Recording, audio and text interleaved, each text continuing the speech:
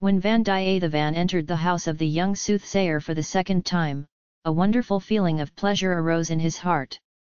It was inside that small house that he saw Ilaya Prati Kundave for the first time. He was stunned to see her red face and big black eyes that were wide with amazement.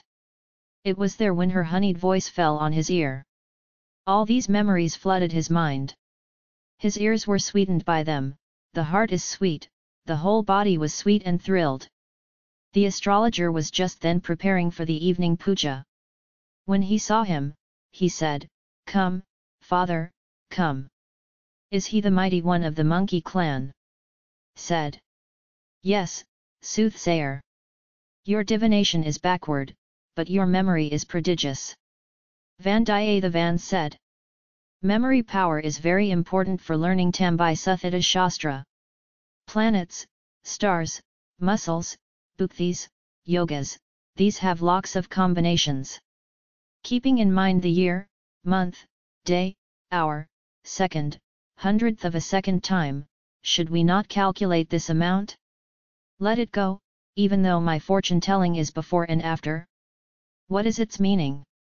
What I have told you is of no avail. Isn't there a way to find that out in your divination as well? There is, there is. You can find out by divination, you can find out by speculation. You must have what I told you. If not, will you come back to this hut?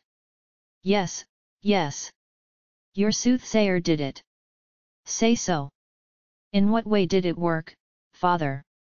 You said, what you told me has worked. If what you are going for happens, it will happen, if it doesn't happen, it won't happen. And so it happened. Even I say happened.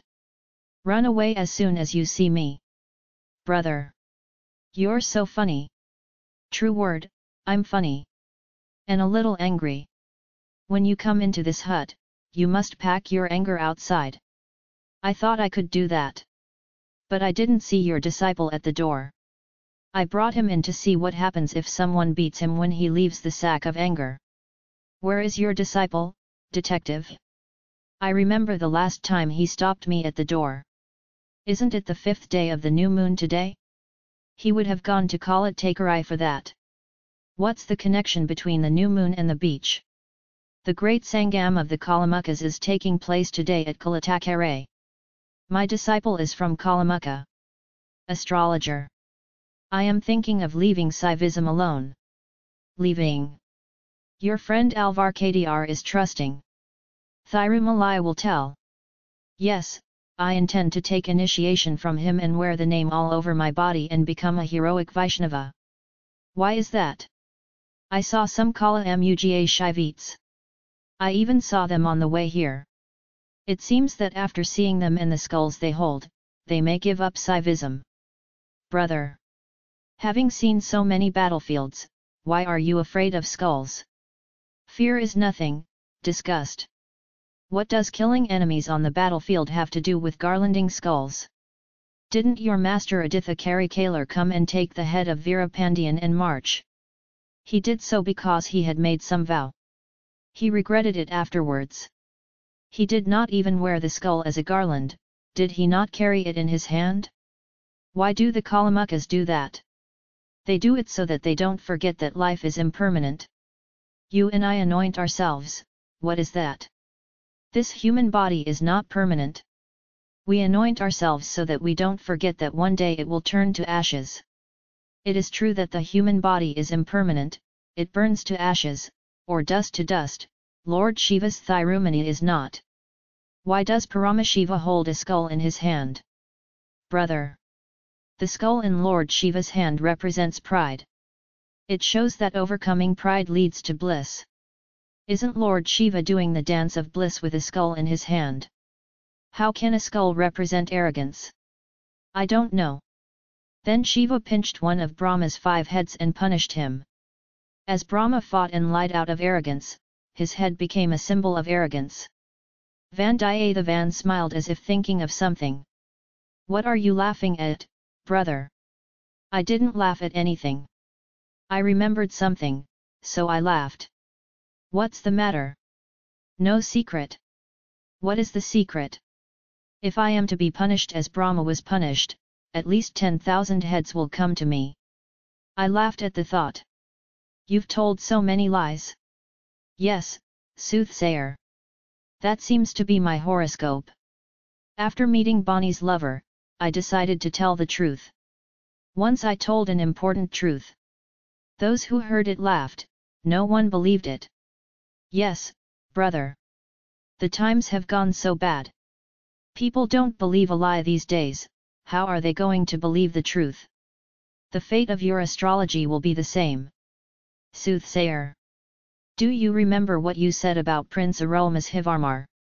Didn't you say that he who stands in the sky at the foot of the northern direction is like the shining pole star that is the lord of Pani?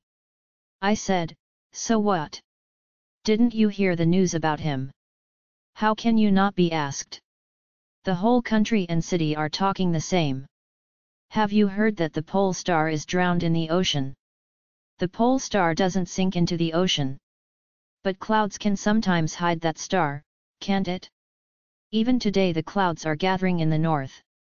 Tonight, try as you might, you won't be able to see the pole star. So that star will be gone. You say so? Do you know any real news about Ponni's lover? How should I know? Rumor has it that you were the last one to jump into the sea with him. If you did, you should know. I thought I'd ask you. Wanting to change the subject, Van Vandiyathevan said, astrologer. How is the comet? He asked. It seems too long in the evening hours. The length must be reduced from now on. If there is any accident due to Dhumaketu, it must happen very soon. God! What will happen to anyone in the kingdom? said the soothsayer. Vandiyadeva's heart fluttered to and fro. Sundara Chola, who is suffering from Paris gas in Tanjore, Pani's lover who is lying in bed in Nagapattinam, Aditha Karikalar who is going to meet Nandini in Kadampur Palace, Madhurandhagar who is desirous of kingdom and is the object of people's anger, and Nandini who is charming with a murder sword in her hand came to his heart in a row. Let all that go, soothsayer. What is the matter of the royal clan to us? Tell me how the work I am about to undertake will be accomplished. What I told you before must be said now, Father. Many misfortunes will come to you, you will receive unexpected help to overcome them all. Said the soothsayer. Vandiyathevan wondered if what was coming at the door was an accident or a help. For just then men's voices and women's voices were heard at the door. Both looked towards the door. Next minute goddess Vanati and her Pangi came in. Vandiyathevan stood up and respectfully said Devi. Forgive me. If I had known you were coming here, I would not have come.